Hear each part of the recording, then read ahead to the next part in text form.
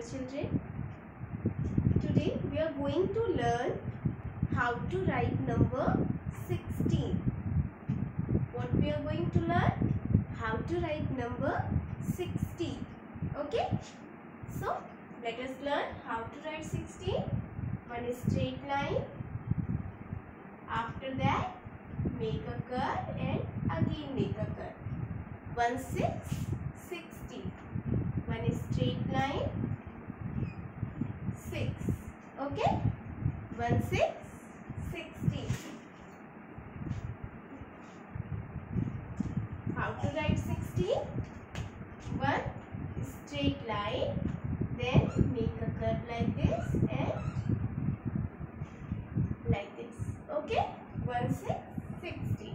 One straight line. Make a curve like this. Then again make a curve like this. Okay. One six sixty. One six sixty. One six sixty. Okay.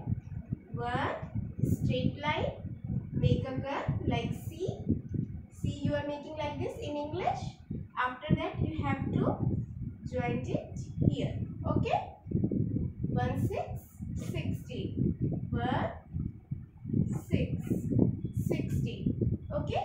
All of you read and write in your maths notebook like this. Okay.